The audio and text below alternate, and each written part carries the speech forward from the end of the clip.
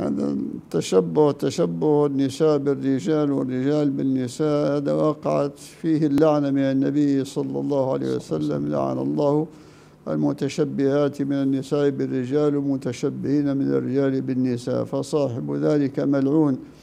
وإن كان ذلك في داخل البيت أو خارج البيت إذا كان هو لباس يعني حقيقي تلبسه من أجل هذا زي ما قلت بنطلون ولا كبوط ولا قميص ولا كذا.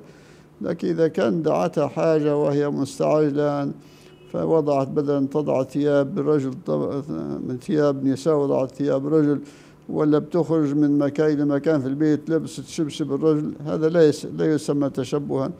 النبي صلى الله عليه وسلم خرج ذات يوم وهو عجل عندما يعني كسفت الشمس وكان مرتديا وضع على ظهره بدلا يضع على ظهره قميص رجل يعني وضع قميص نساء مرأة.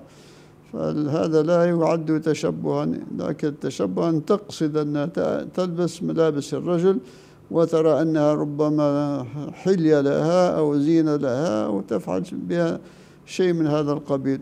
ففي فرق بين يلبس إنسان مضطر شيء من لباس الآخر على عجل ولا يستعمله كما قلت في شبشب للحمام ولا كذا وبين أن يلبس لباس يعني له معنى وله قيمة ويرى أنه في يتجمل به أو يحسن. هذا هو المنهي عنه.